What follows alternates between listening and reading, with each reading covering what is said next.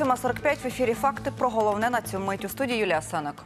Уже 106 людей померли в Китаї через новий коронавірус. А Всесвітня організація охорони здоров'я підвищила рівень загрози його поширення до високого. Утім, про оголошення міжнародної надзвичайної ситуації все ще не йдеться. Тим часом Міністерство закордонних справ та охорони здоров'я України радять громадянам утриматися від поїздок до китайської провінції Хубей, де вперше виявили коронавірус. А він і далі поширюється. Перший випадок уже зафіксували в Німеччині.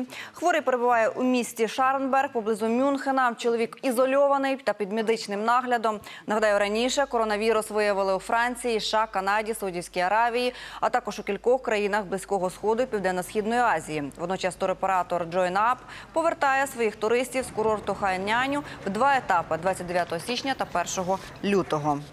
Чи готова Україна протистояти смертельному коронавірусу? Про це в ефірі Свободи слова розповів заступник міністра охорони здоров'я Дмитро Коваль. За словами посадовця, хоч у світі ще немає ліків від цієї хвороби, українцям поки боятися нічого. Лікарі, починаючи від сімейних, поінформовані, як діяти у разі виявлення коронавірусів. З поміж десятка видів китайського штаму поки що медики не фіксували. Наприкінці тижня наші лікарі отримують тест-системи, що допоможуть швидше його виявляти. За словами Коваля, нині підтвердити китайський коронавірус можуть фахівці лише двох столичних лабораторій, а весь процес займає до п'яти днів. Тут відбувається додаткове обстеження на всі наявні е, віруси. Якщо і тут буде е, негативний результат, зразок відправляється до Німеччини е, до лабора- лабораторії Всесвітньої організації охорони здоров'я. За минулу добу окупанти 10 разів порушили режим припинення вогню. Бойовики гатили з мінометів, гранатометів та великокаліберних кулеметів поблизу Новотроїцького, Лебединського і Пісків. Від початку доби ворог уже обстріляв наших хлопців біля населеного пункту Новолуганське. Втрат серед наших, на щастя, немає.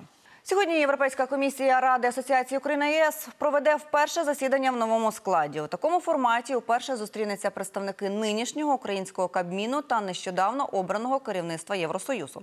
Говоритимуть про ситуацію з безпекою на сході України, протидію російській агресії та імплементацію мінських домовленостей. Зачеплять і справи в тимчасово окупованому Криму. Це буде вже шосте засідання ради. Головуватиме цього разу український прем'єр Олексій Гончарук. Понад третина українських пенсіонерів отримує до 2 тисяч гривень пенсії. Про це повідомляє прес-служба пенсійного фонду в Україні. Від 4 до 5 тисяч гривень нараховують лише 6% отримувачів. Пенсію понад 10 тисяч отримують трохи більше 2% тих, хто перебуває на заслуженому відпочинку. Середня ж пенсія станом на початок року становила трохи більше ніж 3 тисячі гривень. Приємне знайомство очікує на відвідувачів берлінського зоопарку. Уже за кілька днів публіка на власні очі зможе побачити нещодавне поповнення двох дитинчат панди. Їх назвали Піп та Пауль. Тваринки проходять оста- останні огляди ветеринарів та здають аналізи. Також їм під шкіру вживили мікрочіпи. Це поширена нині практика у рамках збереження виду. Якщо результати медогляду будуть хорошими, панденят покажуть уже у четвер.